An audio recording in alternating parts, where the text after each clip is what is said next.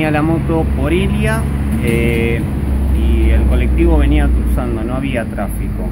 Eh, la moto obviamente venía, creo que 70 más o menos venía. Venía bastante rápido. El colectivo se mandó, la moto le tocó bocina, pero no, no llegó a cruzar. El colectivo chocó la moto, yo justo estaba afuera, lo vi, salió volando. eh, el colectivo se bajó, obviamente le dijo que se quedara quieto y llamaron enseguida al 107. Tenía una fractura expuesta de la pierna.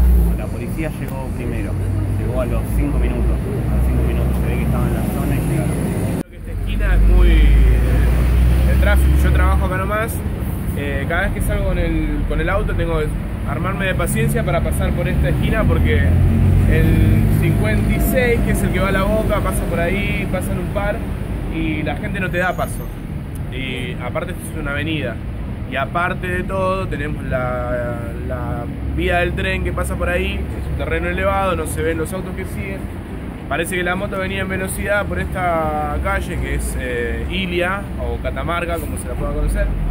Y el, el 56 que va a la boca, ya lo repetí, pasó por acá y ah, parece que no la vio, no sé. Eh, yo justo el momento del impacto no, llegué a, divisar.